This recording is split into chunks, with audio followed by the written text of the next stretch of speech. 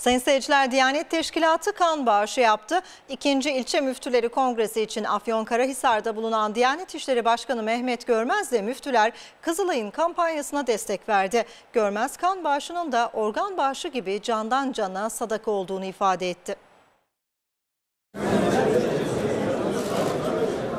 Kızılay'ın kan bağışı kampanyasına bir destekte Diyanet İşleri Başkanı Mehmet Görmez'den geldi. İkinci İlçe Müftüleri Kongresi'nde başlatılan kan bağışı kampanyasında ilk kanı Diyanet İşleri Başkanı Profesör Doktor Mehmet Görmez veriyor. Türk Kızılay'ı son aylarda azalan kan stoklarını tamamlamak için kampanya başlatmıştı. İkinci İlçe Müftüleri Kongresi dolayısıyla Afyonkarahisar'da bulunan Diyanet camiası da kan verdi.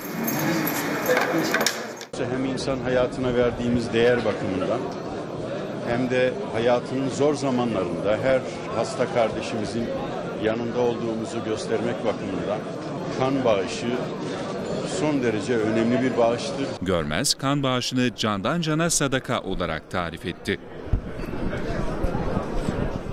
Şartlarına uygun organ bağışı için söylediğim candan cana en büyük sadaka ifadesi aslında kan bağışı için de geçerlidir. Biz hem bütün hastalarımıza, bütün hasta kardeşlerimizin zor zamanlarında kan aramak gibi bir probleminin kalmaması için hem de insan hayatına verdiğimiz değeri ortaya koymak bakımından e, Kızılay'ımızın bu çağrısına uyarak e, bütün il, ilçe müftülerimizle bu kan bağışına öncülük yap, yapmaktan büyük bir bahtiyarlık duyduğumuzu ifade etmek istiyorum. Gün boyu yüzlerce ilçe müftüsü Kızılay'a kan bağışında bulundu.